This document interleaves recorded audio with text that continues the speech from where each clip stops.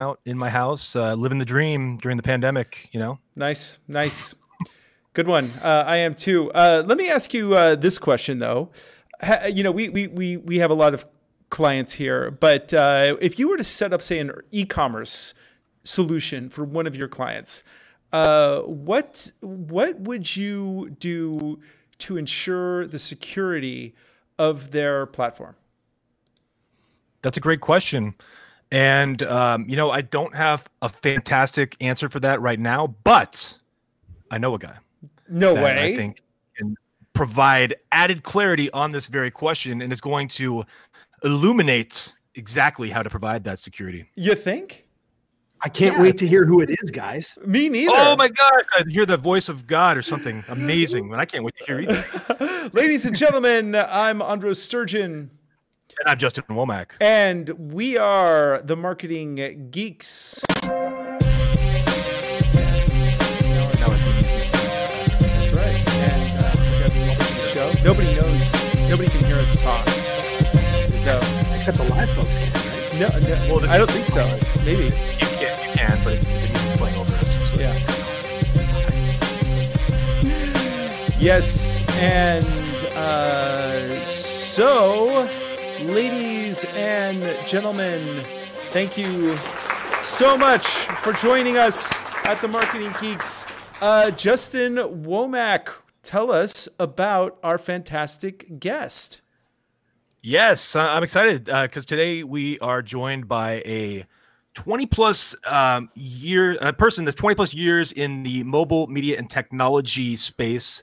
Uh, he has expertise with the history of building and operating companies from uh, startup to scaled global market leaders. Uh, and he's delivered over $1 billion in annual revenue through these companies. Um, so we're joined today by Matt Gillis. Uh, uh, currently serving as the CEO of cybersecurity startup Clean.io, where his company is powering the protection of revenue and user experiences across some of the largest sites on the internet uh, specifically in the e-commerce sector.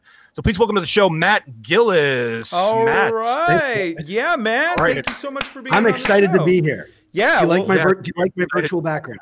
I uh, I love it. It's uh, it's so it's it looks almost real. It's real and it's spectacular. well, uh, thank you uh, so much for being on the show and for uh, our guests who don't know who you are. Why don't you tell us a little bit about yourself and what you do? Hey, uh, so Matt Gillis, I'm the CEO of Clean.io, as uh, the marketing geeks suggested. Um, I've been in uh, business for about 20 years in, in mobile, basically. I started in mobile back when I graduated from university. I've kind of got a couple different tours of duty. Uh, you know, spent maybe the first third of my career at uh, mobile operators, so working for Bell Mobility in Canada. I'm Canadian, uh, and then moved down to the United States to work at Verizon Wireless uh, predominantly launched some of the earliest products that you um, use on your mobile phone besides making phone calls. So back in the early days, it was downloading ringtones and downloading games and streaming video on demand. And so I did, you know, a lot of the business deals around those foundational things that were cool before they were really cool, before the iPhone came out. Uh, per se, I then went and did a you know a stint um, as a publisher. So I ran a video game company uh, that was then subsequently acquired. So I uh, did a tour of duty in, in the video game space, which was fun. Um, lots of changes and challenges, and then spent the last 10 years before coming to Clean in the digital media ecosystem, uh, predominantly helping publishers make money uh, and specifically app publishers. So you'll know in the early days of the app economy, it was like, you know, trying to get, you know, we had the struggle at my, my games gig of getting apps downloaded and getting people to pay for them. Uh, and so uh, I, I went to Millennial Media, which was an early stage startup at the time, uh, where we helped app publishers make money uh, through ads in their apps. Uh, so things like Angry Birds and Words with Friends and all the you know, all the things that you guys probably play all the time anyway. We help them monetize uh, their users. Um, and lo and behold, now I'm at Clean.io, and I can't wait to tell you what we're doing here. So why why like why cybersecurity? What what motivated you to go from kind of the development side of selling or, or I mean selling ringtones on the flip phones probably like the Razr that was a big one back then. Uh, and uh, all those different types of phones and then to developing kind of mobile games and now kind of moving into the e-commerce and security space. So wh- where did that transition come from? How did you kind of make that shift? It's interesting. So like my my journey as I like talk through those kind of like a third a third a third the most recent journey, like I said, was you know I ran the publisher platforms business for what was called Oath, which is now called um, Verizon Media. So it's Yahoo and AOL and this conglomerate of all these acquisitions that they that they pushed together. Um, say I don't know, right? Awesome. By the way, the company that I wasn't sure if I really wanted to go work at, they acquired our company. They acquired Millennial Media, and the best three years of my career working at AOL. And this is like you know recently, so it wasn't like 2004 AOL. It was like a recent AOL experience. The Tim Armstrong years, an awesome experience. Um, but long story short, I spent those last call it like eight years uh, helping publishers make money. And one of the biggest challenges um, in the ecosystem in in making money is that there's a lot of bad actors, and these bad actors like to take over the user experience. So if you you guys, you know, as you're surfing on a phone, sometimes it will take you to a page and say, "Congratulations, Justin, you won an Amazon gift card." And you're like, "Wait, I, I didn't." Spinning wheel, spinning wheel that pops up. Spinning wheel. Uh, you know, hey, you're a Comcast customer. Take this survey, and you'll have a chance to win something. All that sort of stuff. In the monetization world that I was operating, um, that's called malvertising, and it was really hard to stop. Um, and so when I left that gig I ran into a bunch of founders uh, that had created this company. At the time, it was called Clean Creative. Um, and they're like, hey, we're, we're going to go out and solve this, like stopping bad ads, because all of those experiences actually come from a, a malicious actor using ads to kind of like jam into your user experience. And so I was curious of what they were doing. And I kind of like, I said to them, hey, can I, can I intern with you guys and just, you know, see what you're up to? Cause I'm curious. And uh, I spent two weeks with them back in, uh, you know, call it late 2018. Mm-hmm. And lo and behold, I was like, guys, I love this idea. I, this is a huge problem. It's a problem that I lived for eight years. I want to help you solve it. And they're like, thank God you you said that. And uh, so I joined as the CEO in in 2019, in January of 2019. And so like there's a connective tissue between all of my career moves that kind of like you know, I went from Capcom to the mobile advertising platform because while at Capcom, I couldn't get users to pay $9.99 for Street Fighter. Now, yeah. millions and millions of people would download a free game, but like to get someone to part with like even five bucks, they buy, you know, lattes every day at hmm. Starbucks, but they won't pay five bucks to have like Street Fighter for their like the life of their device. And so that was kind of where that was the impetus of me going like maybe this mobile ads thing could be big.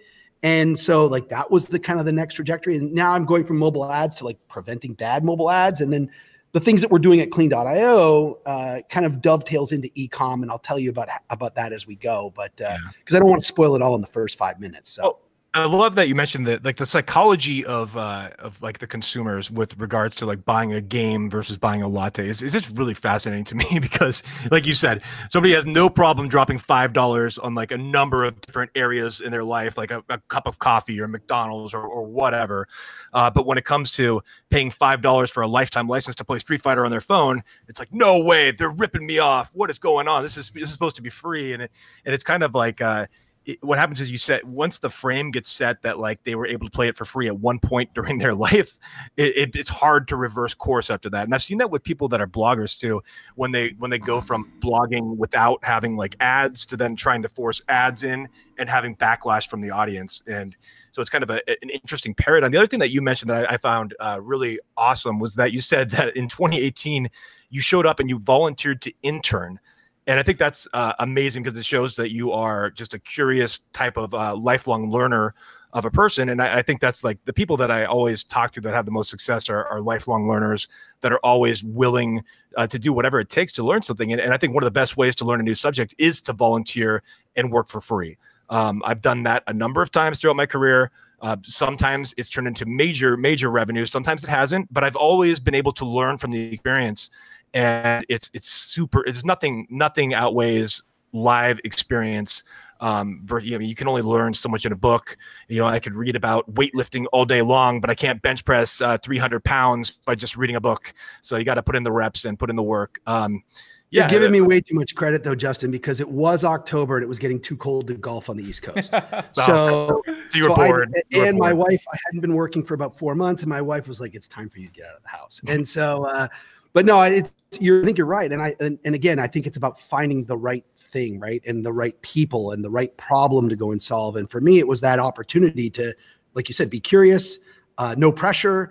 um, you know, I had a huge network of people that I had worked with in my past lives. So what I really did was I took this like this thing that they were doing and started to, to you know road test it uh, with my network to say like, hey, is this a problem for you? Like, how bad of a problem is? Would you be willing to pay someone to solve this problem?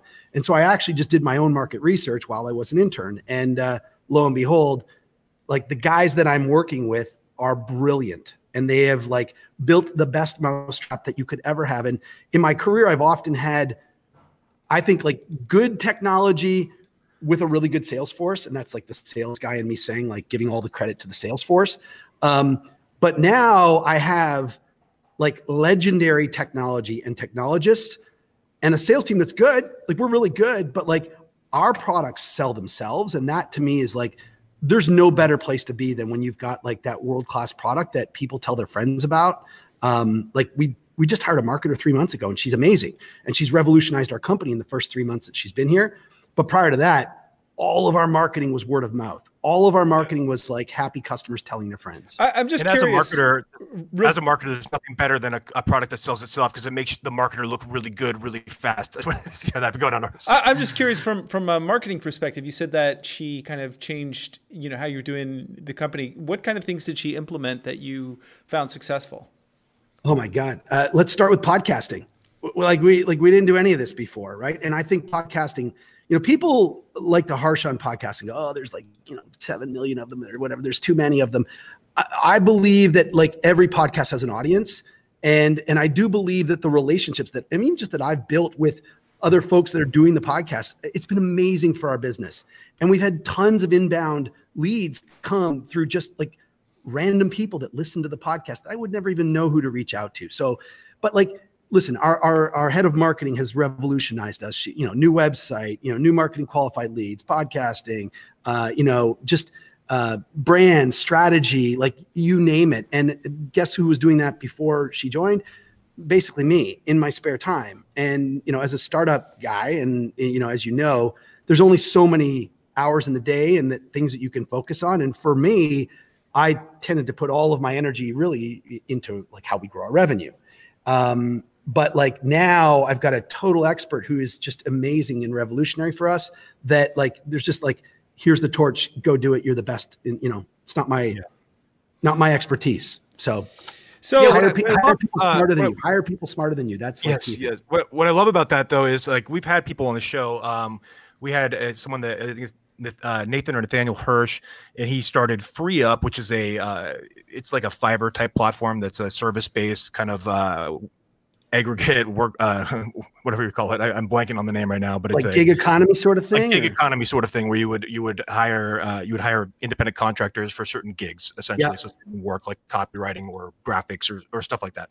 And he built his entire business by guesting on other people's podcasts and just going doing that over and over and over and over and building up word of mouth. And that by far was his top strategy. That he shared that on uh, when we had him on the show. And also we had um, ryan levesque who is the author of um, ask and the author of a book called choose.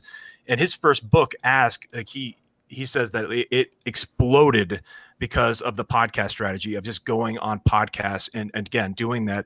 And uh, it was uh, it was actually unexpected the level of success that, that he had by implementing that strategy. Now he did this two years ago or three years ago so it was earlier in the game but still it, it just shows the power of kind of you're, you're finding audiences that are already your audience. You're looking for shows that are already have your audience and you're getting in front of them.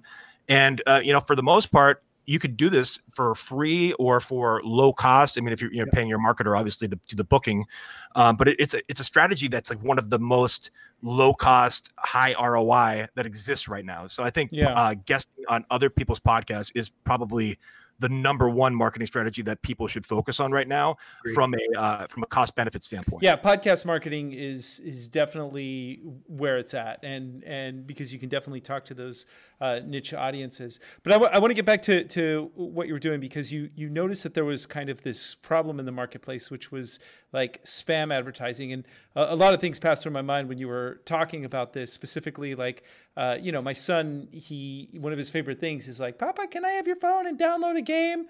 And mm-hmm. you know, and I go through this mixed thing because most of the games that he wants to play, you know, you, you, they're free, but you give away all your data, right?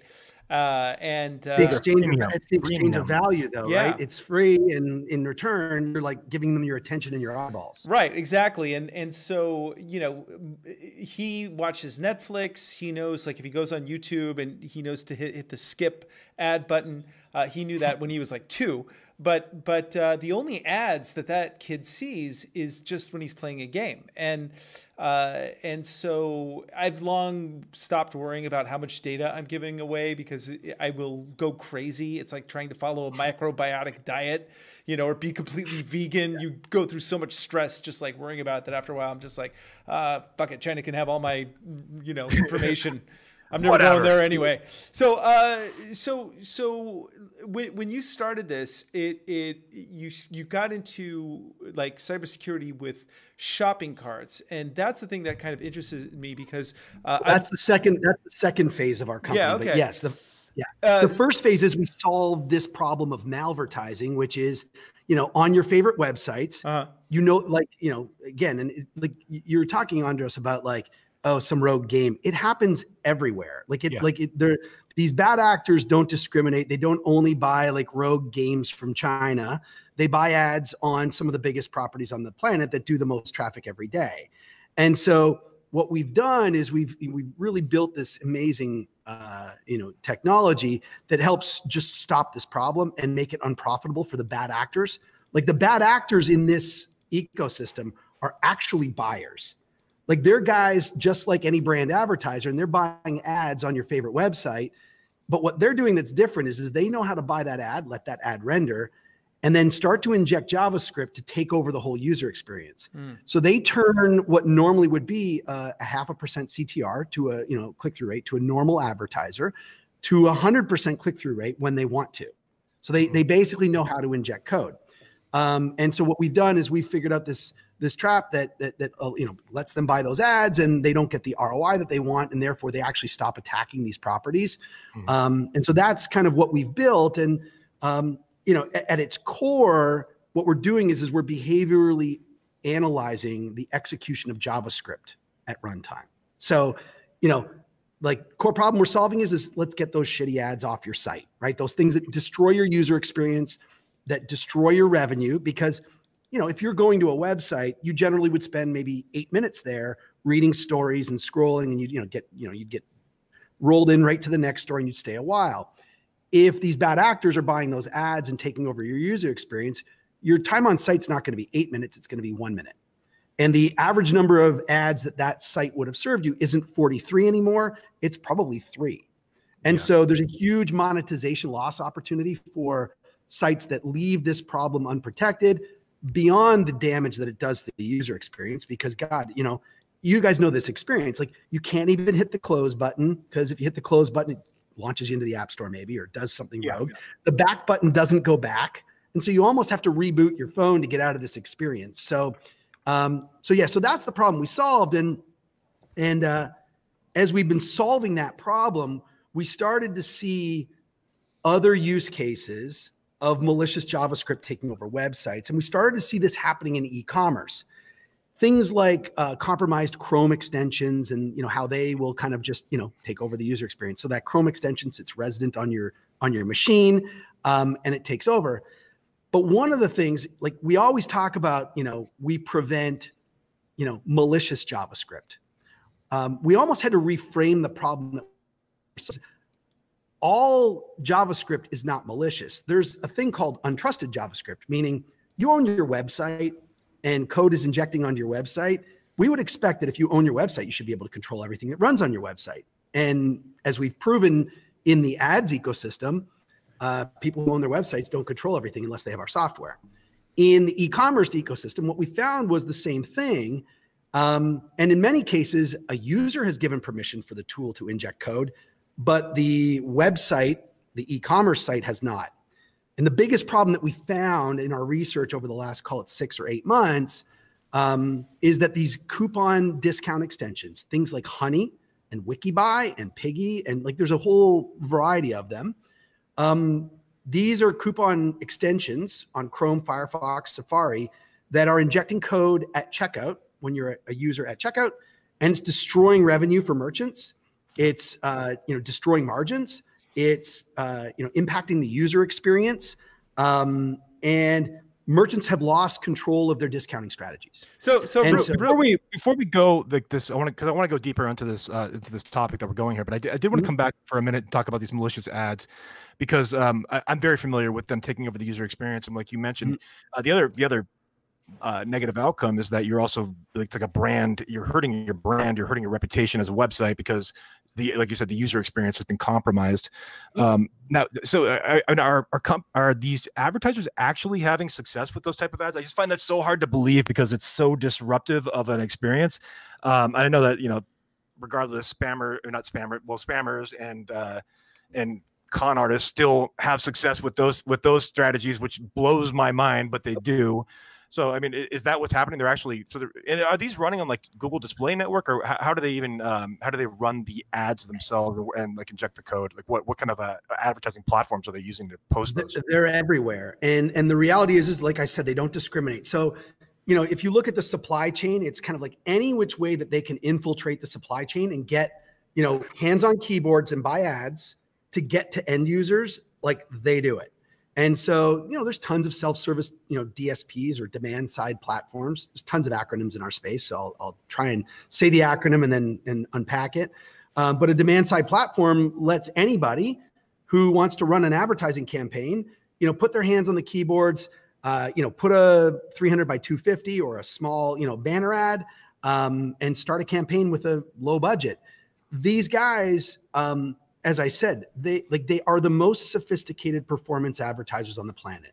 And I know that they're like we've long talked about this difference between brand advertisers and performance advertisers, and many folks will say, "Well, everyone's a performance advertiser," and the reality is, is I don't think everybody's a performance advertiser because these guys they won't buy unless they're making money. So like you kind of said, like like what's this problem and why does it exist? They're making money, and Yeah. so what they're doing is they're arbitraging, right? And so they're buying twenty cent, you know, CPM ads, and they have a model that like they know that if they land you on that page. Um, so like I'll give you an example. Yesterday on Twitter, if anybody wants to go to Twitter, you can see this. Uh, look, my my handle's Gillis USA. Um, there was a big debate. Somebody actually was on uh, the Harvard Crimson website, and uh, they got one of these bad ads. And this bad ad took over this woman's, uh, you know, this her Chrome, uh, you know, uh, browser on her laptop, and it was basically a Verizon survey. That, that it was positioned as a Verizon survey. Well, guess what? It probably is a Verizon survey, and Verizon is paying someone to conduct those surveys. But this person has kind of refactored that survey to get the bounty. And what they're doing is, is they're targeting people who are on Verizon network, right? And so this woman was connected through LTE on her computer. And so they, in that window, they put up, you know, hey, Verizon customer, we want to learn more about your experience. Click here. And the woman will go through, some people will go through that survey. And then at the end, they'll give an email address. And so they get a survey completion. And these guys will just like, they'll then invoice for the bounty, which was get survey completions, collect email addresses, get paid. And so they'll do it as many times as they can. I think the unique thing about this is um, what they're doing is against terms and conditions of, Of their buy, right? So what they do is it, the most sophisticated performance advertisers will target very specifically, frequency cap very tightly, and like so the reality is it's really hard to reproduce. And so they'll buy at that low probe among like the biggest number of users they can and hit them with one. And if they get a, a response, great. And if they don't, they'll target another million users today, but with one ad, not like lambaste you with you Yep. know Mhm. thousands Well, of ads. that, I just say stop buying from ads that take over your entire screen, people, because you're only contributing to the problem. But Don't click those surveys. Go ahead, Hunter. So, uh, so and and and I'd also like you to, because then you know you're you're and just just for the record, one way to stop this, I have a app that I you have to sideload it uh, for Android called Blokada, which is really great because it stops like all malicious JavaScripts and pop-ups and. Uh, I thought you liked giving your data to China. You said. well, I I, you- I, I you're, you're contradicting yourself. I know I'm I'm, I'm a contradiction uh, and a hypocrite, but what can I say, man? Is it ad block though? Like does it like does it block legitimate ads? Because that the problem is is if if publishers leave this problem unsolved, what they're doing is they're inviting their users to go and actually install ad blockers. Yeah, and And then, then then they then they actually really lose. Like Yeah. the publishers really lose. So yeah, our goal is to like give publishers the software and the solution so that it's turnkey, it's set it and forget it. You don't need to worry about malicious ads experiences on your website. And, uh, you know, like you have a great user experience and you protect your brand reputation so that your users aren't bitching on Twitter. Yeah, that's important. Now, now, and for for our listeners who aren't familiar with like Honey and Piggy and these other type of uh, Chrome plugins, can you can you break down what they do and how they work and what they're actually doing? Yeah. So um, I always tell folks in our industry, like if you're not using the technology and whether you want to use it and use it for good or bad, like you should be using it and put yourself, you know, from an empathetic perspective in the shoes of the customer so that you know what happens to people when they come to your sites, right? So you should use your own products and you should use the technologies and tools. Uh, Honey is a uh, browser extension um, that works on Chrome and Firefox and Safari. Um, as a user, you go and you download it, and it sits in the background on your computer. And anytime you go to an e commerce site and you throw things in your cart and you go to checkout, Honey will pop up and say, Hey, Andros, we got coupons for you. You want us to try and save you some money. And you, as a you know desperate user who's poor, you'd be like, yeah, bring it on. I want to save some money. You hit OK. Up pops a window that Honey delivers on this e-commerce website without the permission of the e-commerce site. And it says attempting promo code one, attempting promo code two, wow. attempting promo code three. And what it's doing is, is it's got this library and repository of promo codes that they think will work and they think will reduce your cart price. And if they have a working code, it will then resolve to a page and say, Hey, Justin, congratulations. We saved you $24 using the code first responder 25. And you're like, awesome. Mm-hmm. But like the reality is, is, Justin, you're not a first responder. You probably didn't deserve to get a first responder coupon. And merchant has lost 25% of their revenue like that. Um, they've lost control of their discounting strategies. Um, they've lost control of their attribution. Um, they're now paying affiliate fees. So like there's there's a whole bunch of really big ramifications to the merchant. And at the end of the day, it's all preventable, right? I mean, I think merchants, you know, people say to me like, "Hey, do you think discounting strategies are going to go away?" And I'm like, like no, like discounting strategies are as you know old as the day is long, right? Like you use discounting strategies to drive you know incremental purchasers or incre- incremental traffic to your site or to your storefront or whatever you're doing on the retail side and you know, I think it's just, uh, you know, it's about time that we give the stores, the merchants, the controls to be able to like protect your revenue. Yeah. At the end of the day, and if you think about it, no retailer, no like bricks and mortar retailer would allow someone to come and stand beside the cash register and when someone walks in and says, I want to buy that piece of luggage, and they walk over to the to the cash, they wouldn't let someone stand beside that cash register and say, uh, you know, hey buddy, here's 30% off today. Like, congratulations. Like, who would let that happen? And that's yeah. what's happening in this thing. And, and how, how does how do these... the cashier and just start guessing coupon codes and just you just stand there and just keep guessing and guessing and guessing. Well, it's not guessing; it's more sophisticated than that. I'll tell you well, exactly. I, I know. I'm, I'm using yeah. the example if this were in live in a real store. And yeah, hey, try this one, see if it works. Hey, try that one. Yeah. Right, no, no, no. I got no. The I, cool here's here's the cool part is that they actually know the purchase history of everybody else who's come to your site, and so they know what worked and what didn't, and they know what the biggest one is. And so like they actually have the, the data to be able to go, hey, we know that if we put this one in, we're going to save you 20 points. There might be a bigger one. By the way, here's the real secret. Let's just say I owned uh, you know, an e-commerce store and Justin, you've you've bought stuff at my store before. And let's just say I want to try and get you to come back. And so I send you a coupon that says, you know, like uh, Justin 25. And uh, or maybe even bigger, maybe it's Justin 50 if oh, you wow. if you go to my store and you have honey on your machine the very first thing that honey does if you manually put a coupon it scrapes that coupon out so like this is like the big challenge for merchants is if you're using like a social media strategy or you're using influencers or podcasts like if you're using any medium that is one to many you know where like a social media influencer would say like hey here's what i'm wearing uh, go to this store and use, you know, my name, whatever, at, at checkout, and you'll save X amount of dollars. That now, if that is the highest promo code available, Honey will scrape that out from whoever the first user is that puts that in and make that available for everybody else who comes after you. Hmm. And like you said, that really messes with attribution, which is the big one. So it's like part of the reason that discount would be applied is to determine who's listening to the podcast, right? So like that really screws up the data on the internal side. Uh, Andros, go ahead though. I know you had a. Yeah, uh, I, I want to find out how a- actually Honey makes money from all of this. But first, I have a, a question from uh, somebody who's watching the live stream. Uh, Vishnu uh, uh, Apade. I'm so sorry. I know I screwed that up. Uh, he I says, think that was, you probably said it perfectly. you have never mispronounced your name in your history. he says uh, he has he's a YouTuber, and now these days he gets uh, you know scams and paid promotions, and some are legit. But how can you sort which ones are legit and which ones are fake? Because he said that uh, he he had a friend who got scammed and he lost his channel from uh, doing uh, something. So, so is there a way to even tell like which ones are, are, legit, or is it really just more like rebuilding the the whole structure of the system with like your type of technology?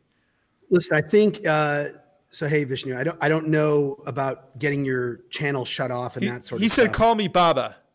Baba. Okay, Baba Booey. Um, what I can say, that's a Howard Stern reference for those that are Howard Stern fans. Um, but what I can say is that, um, like, I think the core problem right now isn't with uh, promotional code strategies, right? Like, it's like we know that merchants need to use promo codes. I think really, like, the the, the tip of the spear right now is there's automation and injection that is not the intended use case of these merchants, right? And so what's happening is, is for instance, we, we are talking to merchants every day. We've got about you know I don't know 25 merchants using our software right now. They um, they all have the same problem, but it all manifests itself differently. And one of them is YouTubers. And so we've got, um, you know, uh, a sporting goods company that works with extreme athletes, extreme sports athletes. And what they'll do is they'll work with YouTubers and give an exclusive promotion code to try and drive that audience to come to their site to buy stuff. Um, what happens is, is that literally like overnight, that code gets picked up by Honey.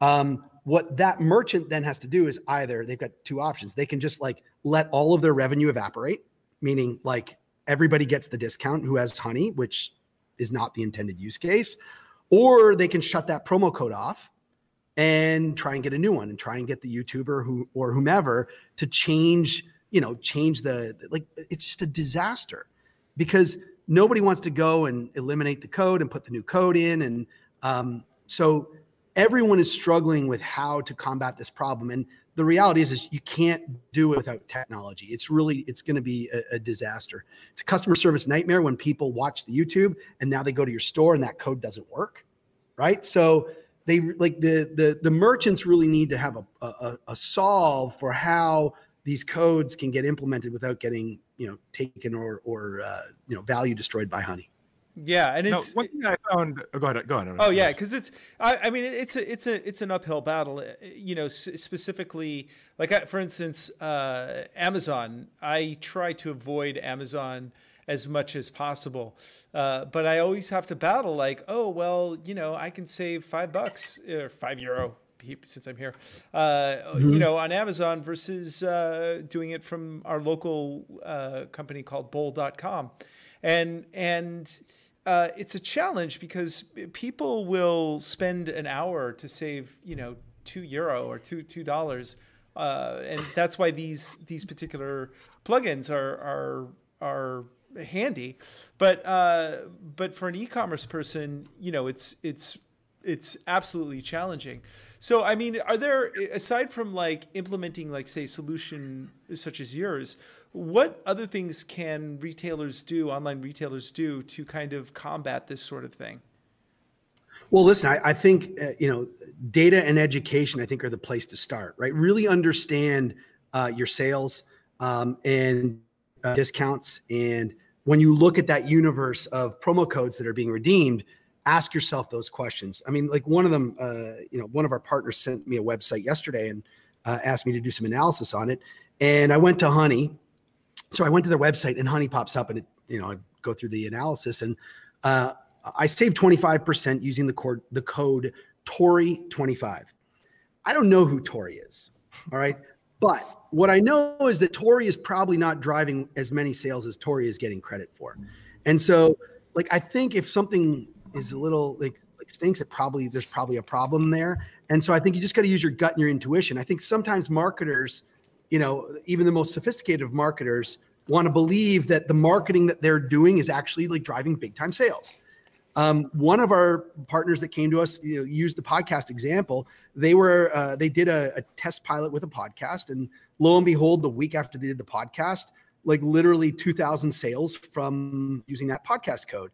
Um, and when they actually went into the into the data, it was Honey that had stolen that code. They were about to make huge marketing decisions about the future of their marketing programs based on what they thought was effective marketing. And so, how, how, do you determine that it was honey? How did you figure that out on the back end? What, what kind of data? Where are you finding that data? Because I was going to ask that question on. So, if you're looking at the back end analytics, how do you know that some of these sales are attributed to honey versus uh, an organic, organically typing in the promo code? My gut says that you'll probably see that uh, a single, some single coupon codes will like be runaway hits, specifically the biggest ones. Um, and you know, like I've seen merchants, you know, test a few things. One of them uh, one merchant that that I uh, you know talked to, they uh, had a, a, a motion with the Orlando Magic, which was you know is the basketball team in Orlando, and they had a code called Magic, uh, and if you use the code Magic at checkout, you'd get thirty percent off. And um, this business did about a million and a half a month in revenue. And in the month in question, when I was talking to them, it did um, about $150,000 in revenue discounts with that with with that one code. Um, for them, what they started to do was, and by the way, the only way you could find that code was uh, a crawl at the bottom of the broadcast for the Orlando Magic. That was the only place where they ever put the code. And so the reality is, you know that there's that not that many people watching that broadcast. So in your yeah. gut, you're like, I know that that like there's no way. And by the way, I like if you're the marketer, you're like, I hope it is because then we should do more of these sponsorships. All right. But what they started to do is they when the basketball season ended, they shut that code off. Well, the very next day, the next two highest codes took off. And that's because what Honey does is it always offers the highest available discount code that it can find. Yeah. Um, so, I, like, I think there's a whole bunch of like kind of like A/B testing and just uh, you know in your gut, get into your data, and download these tools and look at the user experience. Like, go to your own website, throw some stuff in the cart, and watch Honey work. Watch Wikibuy work watch how they work in conjunction with each other. They actually try to steal attribution from each other and steal last click. So you know, the, you just you have to immerse yourself in the tools and really live the life of what your consumers are experiencing on their. On I wanted website. to. Um, I had a couple things I wanted to bring up. Uh, number one, it's interesting because now, because of tools like Honey and and WikiBuys or whatever, or whatever it was called, um, now when I go to like any checkout page, I'm always uh, if I don't I don't have the Honey plugin installed, but I'm always like Googling too, like looking for promo codes just because it's like, why not? Why, I mean, if I can save 30%, like why not look? Because there's lots of websites you can go to too to find promo codes and things yep. like that. And it's so it's it's it's kind of interesting because I was talking, I have a conversation with somebody uh, earlier this week about how it now creates like a friction point where like I was about to buy a product from somebody and I, I did end up buying it without a coupon code, but um, it was like 300 bucks, $297. And I'm like, got all my information filled out. And then I see the coupon code box and then it like makes me pause. And then yeah. all of a sudden, like, otherwise I would have hit checkout without an issue. But because that was there, I'm like, okay, well, uh, now I want to look and see, did he, uh, was there, did he say something from the stage? Did he, uh, did, did, was there a website I could find a coupon code? I mean, you know, I, I like saving money. I mean, uh, as much as the next person, even, you know, even though I'm not even worried about the price, it's just like, I just have that, um, that I don't know desire yeah, I, to say. I think it's the same but, thing that makes like slot machines kind of addictive, where you're kind of like, oh, maybe I can just like you know find this because it you know you find that coupon code, you try it out. There's that little dopamine uh, hit that you yeah. get. But I, I mean, like, and, and it's like I'm smart now. I'm smart. and I, I and I I understand the whole idea of coupon codes, but you know they. I think though that that people feel as if it it it's something that is. I mean, it depends on what you're selling. But like I could use one huge example of someone who never uses discounts, someone who never uses any kind of like sales uh, and they've done perfectly well, and and that's uh, Elon Musk. I mean, Tesla. Uh, even like one of his relatives was like, "Hey, can you get me a discount on a Tesla?" And he's like, "Nope," go to the website and you can configure it, uh, and that's it. You got to do it like everybody else. It, it depends yep. on your audience, though. I mean, there's an yeah. audience that's going to be coupon hunters, and there's an audience that's going to buy for value, and there's an audience that will buy premium products. They want the most expensive product, and there's been a there was a study done years ago with a vodka company that was struggling. They were like a eight dollar vodka company, and they ended up basically just repackaging and making a fancy logo and putting it top shelf and charging like four times as much money, and their sales went up. Yeah, and it was the exact same vodka. it was. No, I, I, it's a crazy story. I, I, heard from Robert Cialdini. Um, who wrote the book Influence? He said that from the stage. The, the other thing I wanted to just bring up real quick is that PayPal acquired Honey. I noticed that uh, they they were they acquired them for four billion dollars back in November of 2019. Yeah, and so, and it looks like the Honey had a user base of about 300 million people. So I know they're, they're buying the, a lot of that 4 billion is to buy the data.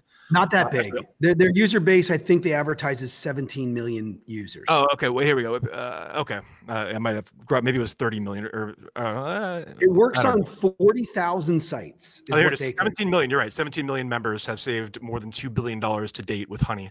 Uh, there it is in the article right there. So, um, why, by the way, on their website, they, they publish on their website, you can go search a merchant, they publish like what the average user who has honey is saving because they have honey. And like in some cases, it's hundreds of dollars. Like we work yeah. with some merchants who do like interiors. So they do like carpets and drapes and uh, wallpaper and all that sort of stuff. And when their average ticket price is, you know, call it like four, five, six hundred bucks, and they get a hold of one of these codes, they say you save 200 bucks. Hmm. It's a lot of money. So, yeah, you know, so Honey was acquired by PayPal, as you said, uh, four and a half billion dollars they are going to invest in this asset. Um, WikiBuy, as it's formerly known, was acquired by Capital One. Uh, you guys may have seen, maybe not you, Andros, but over here in the US, um, John Travolta and Samuel L. Jackson are on the Capital One WikiBuy. They call it now Capital One Shopping. So they're doing a ton of commercials. They're doing TV to drive users to download this extension. John so, Travolta now? I knew Samuel Jackson was doing Capital One. I didn't know John Travolta's involved. So you may not recognize him. He's dressed as Santa in the commercials. Um, so Travolta's all done up as Santa. Um, and yeah, Samuel L. is using some of the, the, the the phrases from Pulp Fiction and that sort of stuff. So it's tongue in cheek. It's funny. Um, what's not funny is like these guys who are in these you know these privileged positions to process transactions are really getting deep in the data, and they're like they're really not like they're not backing merchants. They're actually like, you know, they're really on the, you know, I would call like the pro consumer side. Um, when I think, you know, who's looking out for merchants? I think in this world, what we're finding is with COVID in 2020, e-commerce revenue like went up and to the right. Like it was like it was bananas, right? And I think, you know, what you're going to see in 21, and this is where we, you know, we're excited is that we think that there's a lot of inefficiencies happening in, in e-commerce. We think that there's very few people that are looking out for the best interests of the merchants. And that's where we're positioning ourselves. We want to give them tools to protect their revenue and to protect their, you know, their reputation, their user experience, all that sort of stuff. When you yeah, think about this business that we came from, right? This advertising business where bad actors inject code and they take over the user experience in Detroit, that exact same phenomenon is happening here. In that world, the bad actors are unknown people who probably live in their parents' basement in some foreign country that are buying ads to inject, you know, bad stuff, malicious stuff. In this world, in this e-commerce world where we're headed, we know who the enemy is. The enemy is PayPal, the enemy is WikiBuy and Capital One, and everybody else who's trying to destroy revenue for merchants. And so, you know, we've got a fun battle on our hands. We've been battling this faceless, nameless entity for a long time. And now we're going to be going up against some of the biggest companies on the planet. And I think you, you've really identified a, a serious problem in the e-commerce space. And you know, I think your company's going to do quite well uh, this year and beyond because I think, I mean, it really is something that's going to be affecting all uh, e-commerce companies. And I haven't really heard anyone else addressing this situation specifically. But what about like the concept or, of like going away with coupon codes? Is there an alternative that could happen instead of using coupon codes that could still provide? Like, can you run like through a CRM, maybe a tagging type of software that could uh, that could you know operate based on if it's a new user, it could tag them. If they've made a purchase, it could do tagging. Is, is there is there any alternatives you can think of that would do this, or or how does your uh, software exactly block these uh, plugins from operating? Can, can you just kind of uh, both those questions kind of? Yeah, so um, so I don't want to tell you all the secret sauce about what we do, well, but not we, all, but just like a, a, run, a general overview. Yeah, yeah. Well, I mean, listen, we're blocking the injection of the codes so that the automation does not work. Um, and uh, and we're protecting the carts of the merchants. Uh, it's very simple. So right now we're focused on Shopify Plus stores. Um, so if you've got a Shopify Plus store, reach out to us. If you want to go to blockcouponextensions.com, you can you know read more about our, our beta and what's going on on that on that side. Um, but uh, you know, to answer your question, yeah, it's uh, you know, we're not at the at the moment really focused on like trying to solve like mm. our promo codes good or bad. Period. Like we're trying to solve the automation where we think that there's holes in the boat and revenue is you know leaking out big time. Um, it could go down to that, but I, I think you know the, the other interesting thing, if you talk about the problem that marketers have, right? Like a lot of it is, you know, you can do one-to-one marketing, and a lot of marketers obviously have success on that front. And I think you know the the large problem is this one-to-many, right? So if you think about it, it's influencers, it's YouTubers, it's podcasts, it's quite frankly, it's TV, um, you know, it's radio, like newspaper, like any medium where you're one-to-many, and you're trying to like drive, you know, incremental sales to your channel. Um, you know, that's that that's you know kind of the uh, the problem that we're solving, and we think it's a big one. And we like every day we get merchants that come through, you know, our our, our sales funnel, and uh, it's a different story, same problem, and the excitement and the fever pitch. We've got folks anywhere from like a million dollars in annual revenue to a hundred million dollars in annual revenue using our software the affiliate leakage is the one that really would concern me as an e-commerce um, if i was running an e-commerce business because affiliate it, that means that you're giving a promo code and you're paying out a commission to somebody that didn't really deserve the commission because they didn't actually promote it but the software promoted it for them so that's the one that would really concern me because it's a, a double leakage you're you're giving out the discount plus you're paying an affiliate commission I think that's I never I never I didn't think about that with with Honey as much, um, but it makes total sense. That's exactly how affiliate programs operate. Listen, so we, had, we had a sports nutrition company that does like vitamins and supplements and all that sort of stuff. And yeah, they partnered with um, a triathlete and uh, they, they have these things called ambassadors that are like their brand ambassadors and they kind of like want to leverage their audiences. And uh, lo and behold, this one ambassador uh, over the course of a weekend uh, did some Instagram posts, did a uh, blog post, all these sort of things. And, and he generated, I think it was like 2,500 sales over a weekend and like they literally had bounties to pay to that guy um, and lo and behold it it was honey.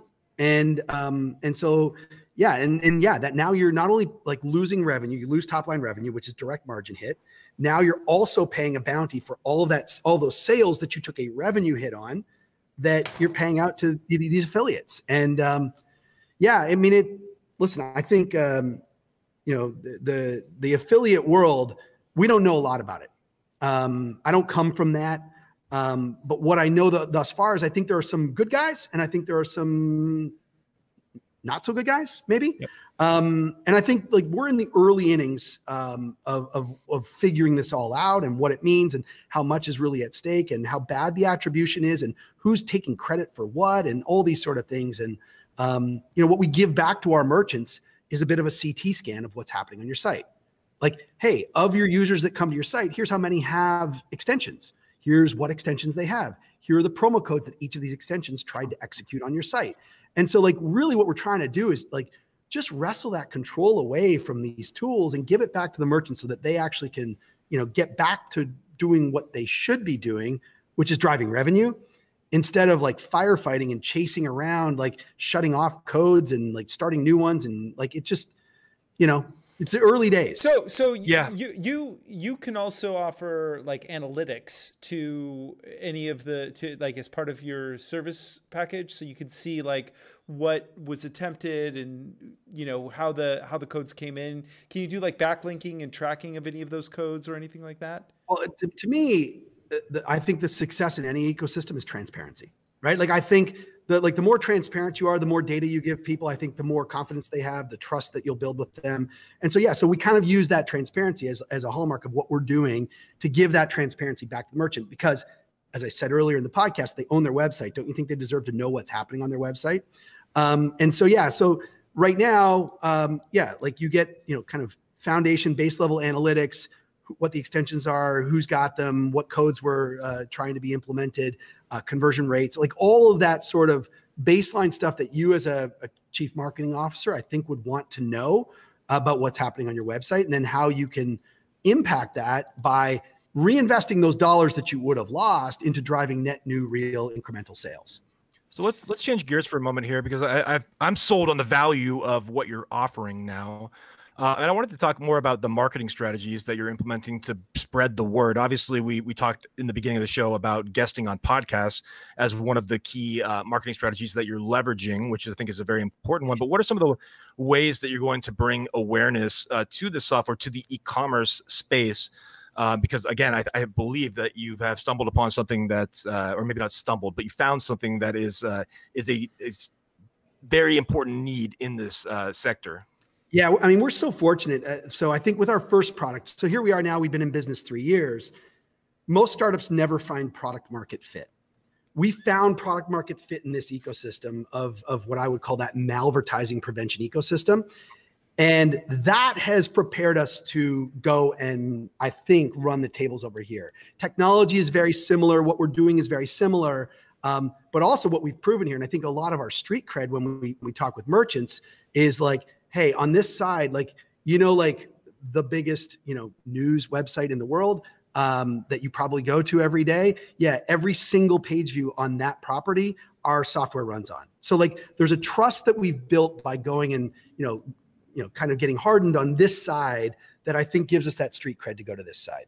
Um, this started for us as like, you know, really like we went onto a Shopify thread and there's this thread that said like, hey, has anybody solved this honey problem? And the thread actually started, uh, I think, a year and a half ago. And you'll see, like, you know, just go to Shopify forums. They've got like forums on their website, and and so it was a bunch of Shopify merchants who were like, listen, I got this problem. Anybody solve it? And some of these, like, it's interesting to see some of the users are like, well, listen, here's how I solved it. And this one guy who I, I give him uh, total credit, I think he, his his company is True Grit because I think he it's in his username. Um, he actually uh, he reached out to Honey, and by the way, this is the cool thing: is Honey has massively adversarial relationships with most merchants. Most like they'll call like merchants will call Honey and say, "Hey, can you stop scraping my codes?" And Honey's like, uh, "Yeah, like no, we're going to keep scraping your codes." And so th- what this guy did was, um, and you know how I told you the user experience where it pops up and says, you know, attempting coupon one, and and, and it in many cases it transparently says what the coupon is. Well, this guy went and created uh, a whole bunch of promo codes, and the first one he created was "Honey is stealing your data." um, honey is unsafe. Honey is malware, and like so, he created all these promo codes that basically disparaged Honey. And so that anybody who went to his site that Honey popped up, it would say all those codes.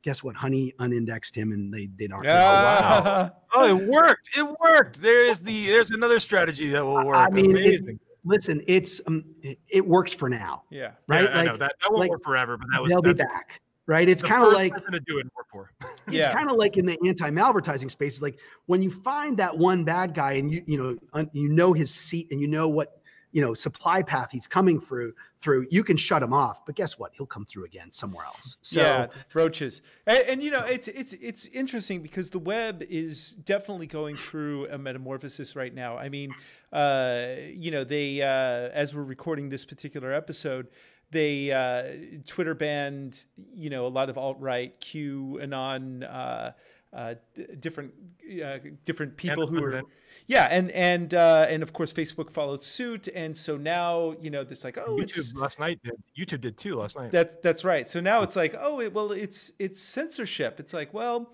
it's not. These are private companies. They have terms of service, and you know if you feel that getting deplatformed is bad, then you should be.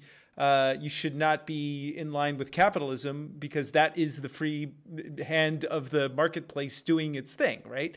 Uh, but uh, devil's advocate on that. The one thing I would say though is these are these are three of the biggest companies in the entire world. When all three of them do it at the same time, that's when it's like you're you're starting to look a little bit more like that. But I, I understand the context in this totally. case here because it, you know, and it's so not it's, it's not an everyday thing. This is this is like a rare moment in history. However, that said, mm-hmm. the the question then lies is you know are these companies uh, are they like the town square or are they publishing companies? And they're still trying to figure that out. And then of course you know we have the issues with like tracking your data. We have the issues with like uh, you know being anonymous and getting doxxed and uh, your likeness and all these things that that you know, Or we're echo chambers. yeah the echo chambers uh, the, the, the algorithms. So so I, I feel like we're at this point in human history where the the nature of the internet has to change and there has to be some form of revolution on some level. What do you think th- this is all pushing towards? Where do you think i mean you're in it so ultimately do you you know especially like uh, apple may start their own advertising sys- ecosystem. Facebook may pull off of apple. I mean it's bananas. Uh, do you have any like beat on like your finger on the pulse of where this may be going? Can you solve this problem in, in 30 seconds? yes. I I mean, I think it's a deep question, and I, I, I didn't think this podcast was politics geeks. It's marketing geeks, but uh, no, I, like, I love- marketing is politics. Anyone who tell tells you different is trying to sell you something. No, I, I like. I think uh, the internet has brought so many great things to us, but um, I think it's it, like it can't be the Wild West. Like I think there has to be some sort of, um, you know, rules. Um, so like, jumping should you be able to do it into our business of like, you know, just because someone has built marketing automation software to jam in a promo code and destroy your cart value by 25%, should they be allowed to do that? I don't think so. Like, I think the people who own the website should be able to write the rules of what they want that user experience to be on their website.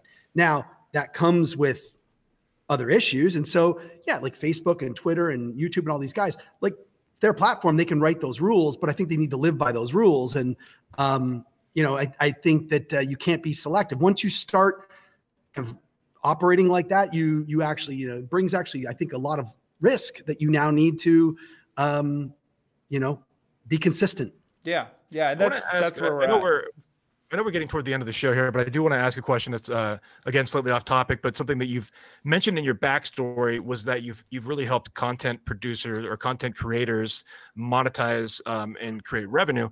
And, and I wanted I was curious about like I mean I, I imagine a lot of that is bloggers, some of them app creators, but like what are some of the just in a nutshell like what, what are some of like the the best techniques that you found as far as like cultivating an audience and then transitioning into usable kind of uh, content space. I'd love to hear a little bit about that. We don't have a lot of time, but I'd love yeah, to. yeah, just- yeah.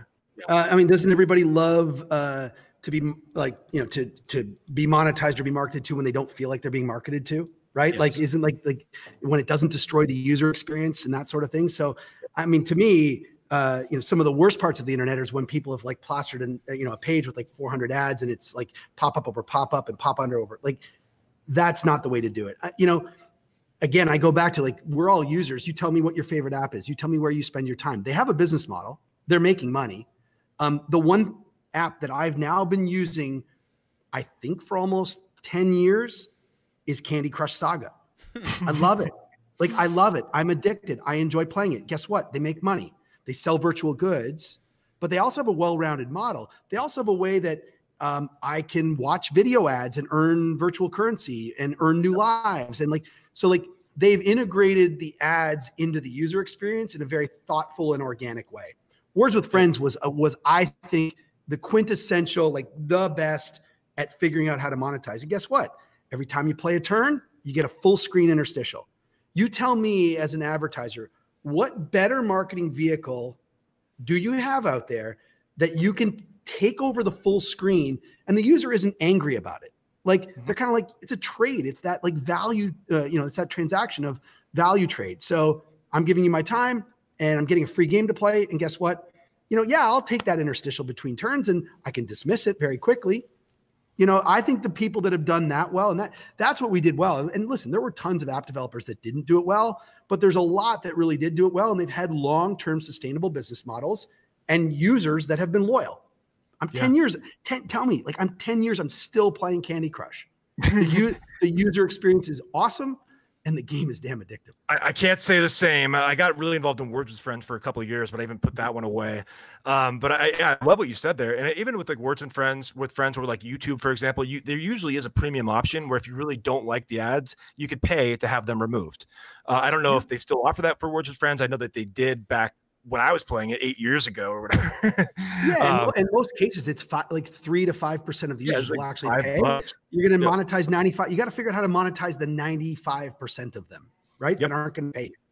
Can, uh, can, yeah, I love that. I want to. I want to learn right. how to monetize ninety-seven percent of our seven listeners, uh, because you know what six. Uh, I hope I hope you've all enjoyed this podcast. You can individually send me an email if you'd like. Well, well, all right. We really yeah. appreciate you. You can handle seven, but no more than seven. So where where can if people? You like listener number eight. Then...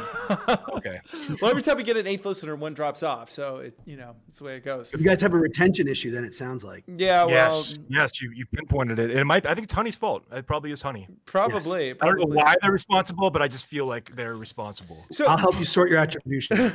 Matt, where where can people find you? tell tell us, give us some URLs, give us uh, where like following. Where, what's the best way to get a hold of you? Our company is clean.io. Super simple. Uh, that's where you can find if you're you know a publisher and you have malvertising challenges you want us to help out on, uh, and on the e-commerce side as well. All of that is there.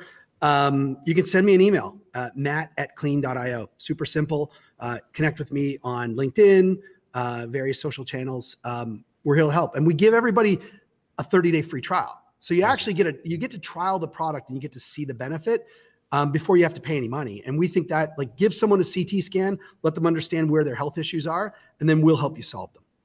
Sounds great. Well, again, I, I work with a lot of e-commerce companies, and I I think this is going to be something that a lot of people will jump on because if if it it pays for itself, right? I mean, whatever yeah. you charge, if it if it truly works, and I believe it does, the product will pay for itself in the savings from especially the affiliate leakage but from any just the coupon leakage in general it will pay for itself. So that's uh, that's an awesome thing is that you're essentially if if uh, depending on where your revenue is right now there's a good chance that they can sign up under you and it's actually uh, a net gain for the person. Immediately. Yeah. Yep. Yes. immediately. and that's one thing i will say is that like you know when you found product market fit when people are implementing your code during black friday and cyber monday week like, you know, everybody goes into locked for.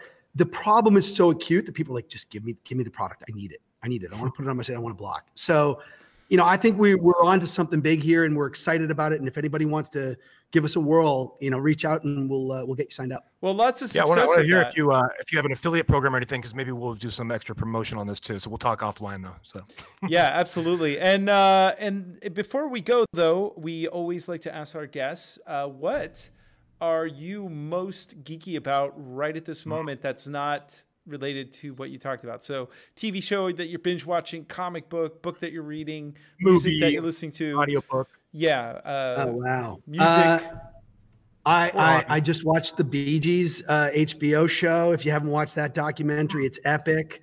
Uh, I watched episode one of the Tiger Woods uh, HBO. Um, but did way, you watch like, Wonder Woman 1984? I, so so yes, I have subscribed. Uh, I like HBO Max. I, am a fan, hmm.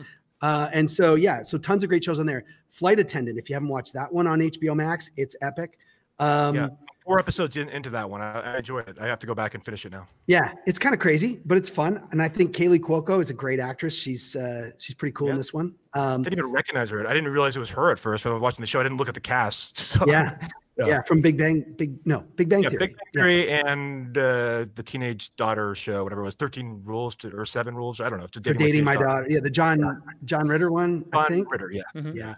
Uh, so yeah, no, like I watch that stuff. Um, like uh, my secret passion. I love The Bachelor. If you like that show, we could talk The Bachelor. I'm addicted to The I, Bachelor. I got into it uh, again. This, this, is probably the same time playing Words with Friends, but I got into it for like two seasons, and it is it is a good show. Uh, but it's also it's such a train. Also a time suck. So I, I, I purposely avoid those kind of things if I can if I can help it. Yeah, but yeah, no, that's I mean, like I have three kids, so. Uh, I coach hockey and I do a lot of that sort of stuff. So uh, you know that's Canada. where I spend my time. Yeah, from Canada. Born, awesome. born with skates sport. Uh, I'll say for me, um, I did watch Wonder Woman 1984 just uh, two days ago, three days ago. I finally uh, bit the bullet and did it. It's one of those things. It's going to be the same thing I said about um, that other DC movie, the Harley Quinn movie, uh, Birds of Prey. I came in with such low expectations. I mean, we're talking like below zero expectations that I was actually like, you know what, this isn't that bad and this movie it, it over delivered in terms of like my negative 10 on the expectation level. So i was i was entertained by it. I don't i would never say it's a good movie by any means but it had uh, it, it was entertaining. It had some uh, it had some fun uh, parts to it. Some of the some of it felt a little bit ridiculous also uh, but it was uh, you know it was it was fine. I mean it's a it's a superhero movie. It's dc i don't hold it to the same standard. I hold the marvel movies to so uh, so it, it's yeah for, for my low standards of a DC movie, it was it was good. All right, I'll I'll uh, I'll let you have that. That's uh, that rave rave review. I uh I, I actually I'm gonna go way old school because uh one of the nicest things about uh when I when I put my son to bed we have this whole ritual and uh, I sometimes do Mad Libs with him, and nice. uh, but but we read. You know, we I, I do like do like I did when I was a kid, like use toilet and poop like every time. Oh, I encourage it. You know, it's like, come on now, reward that. Toilet, yeah, uh, but uh, verb pooping.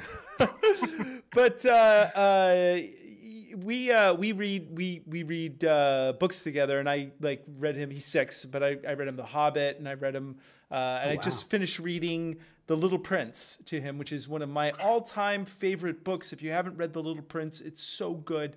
It's so what sweet. What is that one? Uh, An- Anton de Saint Exupéry, and uh, it's a French. I'm probably screwing that name up too, but uh, but it's it's just it's just a it, it has so much heart. It's just the sweetest. Not the Prince, the Machiavellian one. No, no, okay. no. I'm I, I already read that to him. Uh, you know, and now oh, he's good. like, good, good, yeah, good, he's king of his school. He gets up on the desk and he's like starting a cult. It's fantastic. Uh, but uh, but but he he kind of looks like the little prince. He has his little curly locks and he's so cute. And so uh, I just being able to like I was so in love with that book as a kid.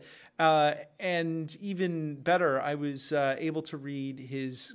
Uh, my my mother died uh, about a year and a half ago, and I just got a whole bunch of boxes of stuff. It was the last of my things from the states, and my mom's copy of The Little Prince was in there, so I was reading that to him. It was a, just a very sweet, sweet moment. So I was kind of geeky about that. Five or six, right? That's cool. Five or six, Khalil. Yeah, yeah. But if you haven't read The Little Prince, what's that? How old is he? Five, five or six? He's six. He's six. Six. Yeah. Yeah. I mean, uh, it's fun because my son is two and oh, seven and a half months now, and and he's, he's just bigger than Khalil. Really, yeah, he's bigger than Khalil, I think, and he's just now starting to really enjoy books. He's obsessed with dinosaurs, so we read dinosaur books every night.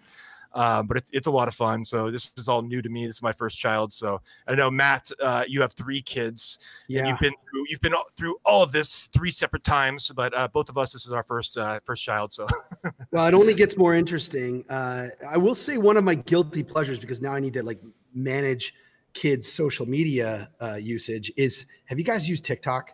Like, I, uh, yeah, I, have started to use fun.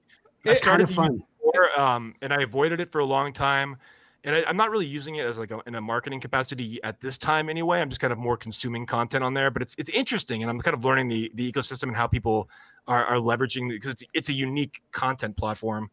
Uh, I, I, find it fascinating. Uh, what are you? Are you are you a content producer or are you mostly consuming? Oh, I am all consuming. I am not okay. producing a thing. Although I do no guest, videos, I do guest star in my kids' videos sometimes.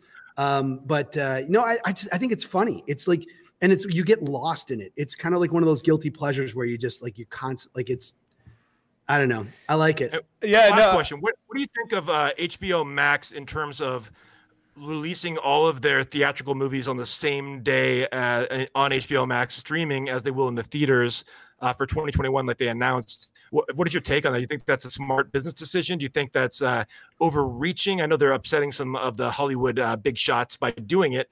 Uh, what's, what's your take on that? Just curious just for fun. Was that for me or Andros? Not for you. That's for you, Matt. Uh, just Listen, for fun. Um, I think many of the, the the the big filmmakers make their films and intended for the big screen, and they don't yeah. love them to be released. You know, in in that first view, like they want people's first reaction to be, I go and I watched on that, you know, whatever, 80 foot screen in Dolby surround and that sort of stuff. Um, listen, I think we got a real problem that we're all living with right now, and nobody can go to the movies. So, um, I don't know. I think you know, you, you, I, I, admire their courage to make the decision um, because I think um, people have got to you know kind of pivot in these in these moments. Yeah, we all, we and the question is, can we go back after this? Is the question? Can they no. can they then put the genie back in the bottle and make people go back to theaters? Yeah, one, Chris Nolan, the director of Inception, the Dark Knight trilogy, and most recently Tenet, he films a, a good chunk of his movies using IMAX cameras, for example. And and so it's true that like if you really want the experience of how it's the movie's intended to be uh, experienced, you have to be in an IMAX theater and have uh, the proper sound system and everything. And it's a different, it's just a different overall uh, sensation. And, and so I, I, understand for those kind of movies. But then there's also other movies like that just don't require the theatrical experience to make them great. So my, my prediction is that in the future, I think we're gonna the the everyday movie theater, like with a 14 movie theater Cineplex, is gonna go away, and we're gonna have one or two like IMAX theaters in every spot, and it's really gonna be more, all about the experience. Yeah. Um, so there will still be a theater, but it's just gonna be smaller, and it's gonna be giant screens and things like that. So I, I think that's kind of where we're headed because I think uh, otherwise people are just going to want to experience it at home. Yeah, I, I do lament the death of, of the movie experience because even like thinking about the movie star in general, there used to be a day and age where you'd be like, hey, it's the new like Brad Pitt film, and you don't even okay, great, I'll go see that. Uh, but you know, the new PewDiePie, PewDiePie, PewDiePie YouTube video, man. Yeah, the new PewDiePie. That, that, I, I don't even think he's famous anymore. I don't Listen, know. YouTubers and TikTokers and that sort of like my my kids' generation they yeah. don't care. Like they they want like Charli D'Amelio or whoever this woman is who's on who's got like a hundred million TikTok followers. That like they get excited about that. They don't care yeah. about movie stars exactly. anymore. I was Tom Cruise. I don't yeah. care that he does his own stunts. Logan Paul is boxing people.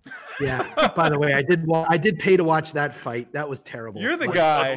I didn't pay for that one, but I did pay for the uh, Mike Tyson fight where Jake Paul was on the. Sorry, Jake Paul. Yeah, yeah, no, yeah, it was yeah. Jake Paul. Yeah, I paid for the Tyson fight. The Tyson uh, one, yeah. It was entertaining, but you know, I don't know if I'll drop the 50 bucks for it. was robbery, but it didn't not like it really matters. Well, I, both I just took a 10 euro old. bill and I just threw it on the ground next to like the the my kid and the friends he was playing with, and I just said, whoever wins gets to pick that up. and uh, I just sat back with kind some popcorn. Like in, kind of like in the Dark Knight when yeah. he rips the pool cube in half, and he's like, tryouts. There you go. well, uh, Matt Gillis, uh, thank you so much for being on the show. I really appreciate it. it was, Thanks, uh, A lot of fun. Yeah, a lot of fun. And this has been uh, fun. Yeah, absolutely. And we really uh, appreciate you uh, being part of this experience. And, and just to recap here again, the, the company is clean.io. So make sure to go to the website clean.io and take them up on the free 30 day trial. If you're in the e commerce space, I mean, this again, this is a tool that can pay for itself uh, because it is eliminating leakage from your business. You're eliminating uh, coupon leakage, you're eliminating affiliate leakage potentially. So it's something that pays for itself. Highly encourage you to check out clean.io. And uh, again, I think I think you're about to. Uh, you know, we're probably going to be on the Inc. 5000 here in the next year or two because this is a company I think can really take off. Thanks, Justin. Thanks, Andros. We really appreciate you having us on, and uh, maybe we'll come back in like you know in the future here and tell you how it's gone because like we're just getting started. Yeah, man. Can't Love wait it. to can't Love wait it. to hear about. It. All right, take care, buddy. Cheers, guys. And uh, and we are Peace the marketing geeks, and we are out. Stay classy.